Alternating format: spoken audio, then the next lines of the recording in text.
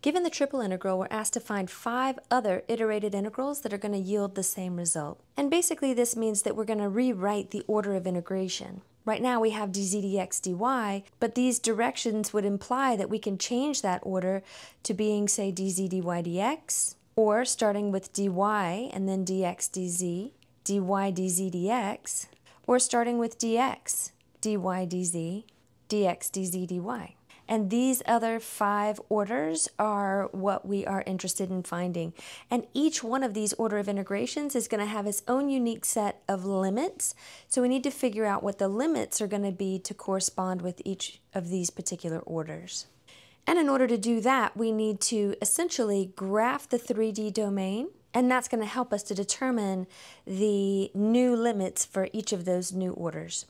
So let's start with this inside iteration. Integrating with respect to z and having those limits of integration go from 0 to y means that the lowest value of z is going to be 0, the highest value of z is going to be y. Essentially, we're going to be hitting z is equal to 0, which is the xy plane, at that lower limit, and z is equal to y, which is another plane when that rectangular solid floats to the top. So we'll start by graphing the plane z is equal to y, since we're missing the x variable, we graph it in the yz plane, and this is a line with the slope of 1 that passes through the origin. Because we're missing the x variable, that would be extended in the direction of x.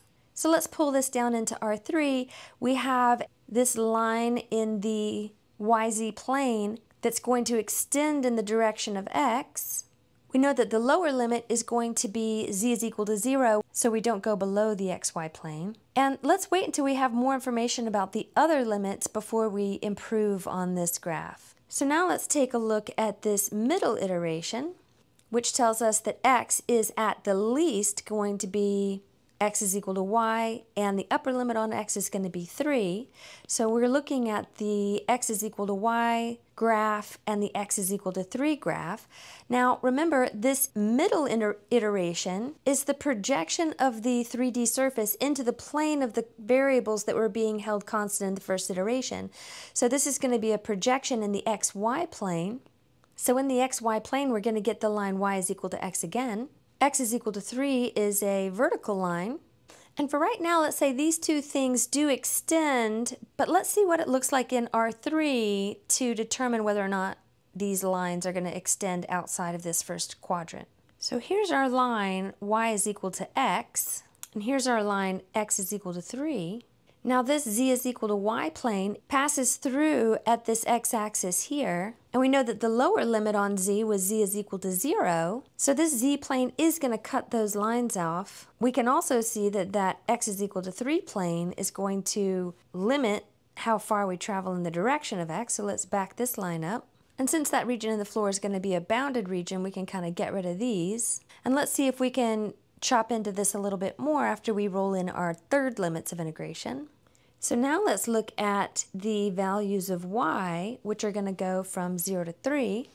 And we may already have enough information in our 3D graph to be able to interpret that. So the lower limit of our y value is going to be from 0 here, and the upper limits on our y value is going to be to y is equal to 3. So we have this ordered triple in the floor. Now it seems like we're getting pretty close here, although our ceiling function, which is that z is equal to y plane, shouldn't be going all the way back to the y z plane back here. Since we have this y is equal to x line, that's really going to chop into that ceiling function so that we end up with just this portion of that z is equal to y plane that, that's leaning over that first octant. We've got this region in the xy plane, and we've got this wall on this other side that is running straight up and down as well kind of tough to visualize, but let's say this ordered triple out here is going to be x is equal to 3, y is equal to 3, and z is equal to 3. So this seems like a pretty reasonable representative of our 3D domain region. So the projection of our surface in the xy plane is going to be here. If we shine a light here and project it back into the yz plane, remember z did not go any lower than 0, and the upper limit on y was 3, so that means we're going to have this ordered pair 3, 3 here in that projection. And finally, in the xz plane, we think about shining a light this way. Remember this line was y is equal to z, That projection in the xz plane is going to be this blue wall. And now I do believe we're ready to reorder these limits. So we'll begin by looking at the triple integral of some 4D function over this three-dimensional domain. We already have the order dz dx dy, so let's go dz dy dx to start, which means our floating rectangular solid is still going to be floating in the direction of z first, but then we're going to project into the xy plane to get the other limits of integration. Since we're floating with respect to z first, those z limits are going to stay the same, from 0 to the z is equal to y plane. In order to then determine the limits with respect to y, we look at the xy plane and we're going to take that floating rectangle and float it in the direction of y first. So the y limits are going to go from 0 to x. And this time we have to call that line x because if we integrate with respect to y, we can't have any y's in those limits. So the y values go from 0 to x. And after we've floated up and down in here, we're going to now go right and left. The lower limit on x is going to be x is equal to 0, and the upper limit on x is going to be x is equal to 3. So these last limits are from 0 to 3. This time let's integrate with respect to y first, and then we'll do dx dz second and third. So now integrating with respect to y, we're going to be going in this direction of y, where our lower limit is going to be hitting that wall, z is equal to y, and our upper limit is going to be hitting the wall, y is equal to x. So with respect to y first, our lower limit is the y is equal to z function, and the upper limit is the y is equal to x function. And now we're going to look at the projection in the xz plane. Now we said we were going to integrate with respect to x next, and so that's going to put a lower limit on x of being the z value, that is the line, and the upper limit on x is going to be 3. So our inside iteration is going to be from z to 3. And now we look at our last limit, which is going to be the z values. Again, we go back to that xz plane, and when we're all the way at the bottom, of this interval, z is equal to 0, and when we're all the way to the top of this region, z is equal to 3. So we have from 0 to 3. Now let's look at the other possibility for having dy first, which is to have dz dx as the second and third iterations. Since we're going with respect to y again first, we're going to have those same inner limits for y from z to x, and we're also still going to go into the xz plane to get the other limits of integration. But this time we're going to go with respect to z first, which is going to put my lower limit at 0, and my upper limit is going to be, this time, x. So we'll say from 0 to x here. And then back up to the xz plane to see that if we go with respect to z first, and then we move this band right and left, the farthest left extreme has an x value of 0, and the farthest right extreme has an x value of 3. So again, we're 0 to 3 out here. Now the last two possibilities are going to be when we have dx coming first.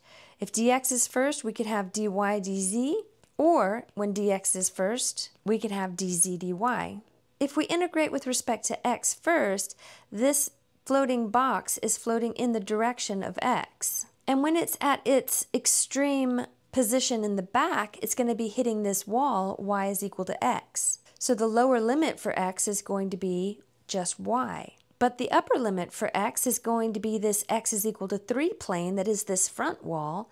So we're going to have a lower limit of y and an upper limit of 3.